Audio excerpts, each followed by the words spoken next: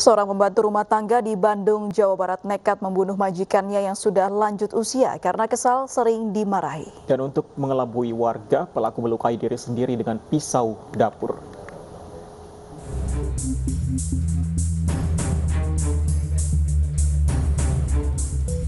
Kasus pembunuhan Dewi Romlah, wanita berusia 85 tahun warga Cijawura Girang, Bandung, Jawa Barat, Kamis lalu akhirnya terungkap. Pelaku ternyata merupakan pembantu rumah tangga korban. Untuk menutupi perbuatannya, pelaku melaporkan adanya pencurian dengan kekerasan. Bahkan pelaku berpura-pura menjadi korban kekerasan dengan menusuk diri di bagian perut dengan pisau dapur. Ibunya juga mengalami uh, cedera ya, cedera katanya berdarah. Kalau itu saya nggak lihat, saya nggak lihat karena pada saat saya datang pembantunya sudah dibawa ke rumah sakit terdekat. Namun, drama Ratna tak dipercaya begitu saja oleh polisi. Setelah pemeriksaan mendalam, Ratna pun akhirnya mengakui telah membunuh majikannya karena kesal sering dimarahi. Pemeriksaan dari olah TKP belum ada barang-barang yang hilang maupun dari keluarga korban dinyatakan ada barang yang hilang. Cuman dilapori awal dari pihak keluarga seolah itu ada pencurian. Tapi sudah kita pengembangan dan hasilnya bahwa pelaku pun sudah mengakui bahwa dia yang melakukannya. Sudah sabar, saya saya pukul kembali kepalanya, sampai tiga kali. Di kepala tiga kali, ya. bagian depan, bagian belakang, bagian atas, sebelah mana? Atas. Pelaku kini masih dalam pemeriksaan lanjutan untuk mendalami unsur pembunuhan berencana. Dari Bandung, Jawa Barat, Mujib Prayitno, iNews melaporkan. Dan selengkapnya terkait kasus pembunuhan yang dilakukan asisten rumah tangga kepada majikannya, bergabung bersama kami AKBP Adanan Mangopang, Kasat Reskrim Polrestabes Bandung. Selamat sore Pak Adanan. Benarkah motif dari pelaku ini hanya karena sering dimarahi, Pak Adanan? Ya, baik.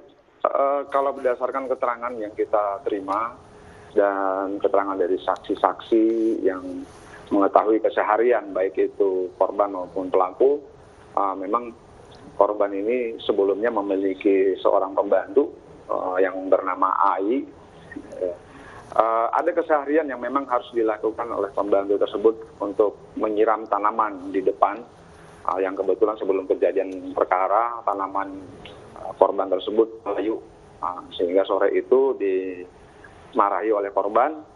Uh, kemudian uh, keterangan dari pelaku mengatakan bahwa uh, korbanlah yang memukul duluan uh, terhadap pelaku. Akhirnya setelah uh, pelaku mengambil tongkat yang biasa dipakai oleh korban, kemudian dipukulkan ke kepala korban di kepala bagian atas dan belakang sesuai dengan hasil visum sebanyak tiga kali pengakuannya. Namun dari hasil pemeriksaan visum itu berkali-kali ya dilakukan pemukulan terhadap korban Kang Pandi. Baik, sebelumnya RT ini dikabarkan menusukkan diri ke uh, perutnya. Apakah betul, Pak Adnan? Adanan? Iya, uh, betul. Jadi uh, laporan awal yang kita terima bahwa telah terjadi pencurian dengan kekerasan, dengan kerugian uh, saat itu dalam laporan polisi yang kita terima kerugiannya sebesar 20 juta. Namun kita saat melakukan olah TKP kita tidak menemukan ada barang-barang yang hilang, baik itu perhiasan maupun uang korban yang kita cek di uh, dalam lemari yang bersangkutan. Uh, kita menemukan juga sebilah pisau dan sebuah silet yang berada di kamar korban, kamar pelaku.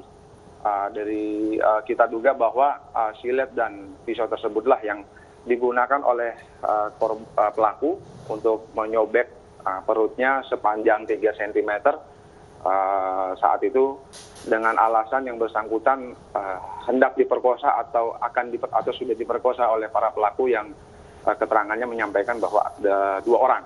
Mm-hmm. Nah, namun dari hasil pemeriksaan di Bitdokes Polda Jawa Barat di Rumah Sakit Sartika Asi, dokter memberikan keterangan bahwa tidak ada tanda-tanda atau bekas uh, pemerkosaan.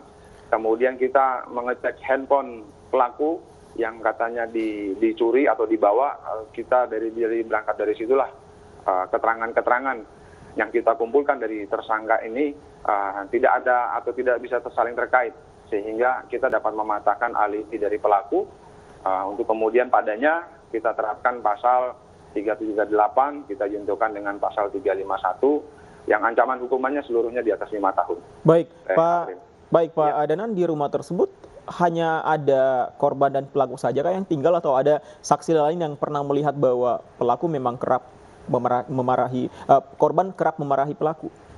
Ya, eh, kalau di rumah korban memang hanya berdua ya, hanya berdua. Namun eh, Pak RT yang di sebelah, sebelah rumah korban itu sering menyaksikan keseharian. Jadi seperti sudah eh, sudah rutinitas dari korban maupun pelaku, eh, Pak RT juga sudah mengetahui. Namun pada saat hari naasnya itu sekitar pukul setengah lima atau setengah enam menjelang maghrib, Pak RT tidak melihat eh, pembantu eh, asisten rumah tangga tersebut menyiram tanaman atau ibu korban eh, keluar uh, untuk melihat tanaman uh, atau sekedar uh, bersi- uh, berkomunikasi dengan uh, para tetangga. Karena di samping rumah itu ada masjid yang biasanya juga ramai karena kalau bila si pelaku ini pada saat melaporkan pencurian dan kekerasan seharusnya uh, warga sekitar juga mendengar atau mengetahui lah telah terjadi pencurian dan kekerasan berawal dari situlah kita uh, kemudian melakukan uh, pemeriksaan dalam terhadap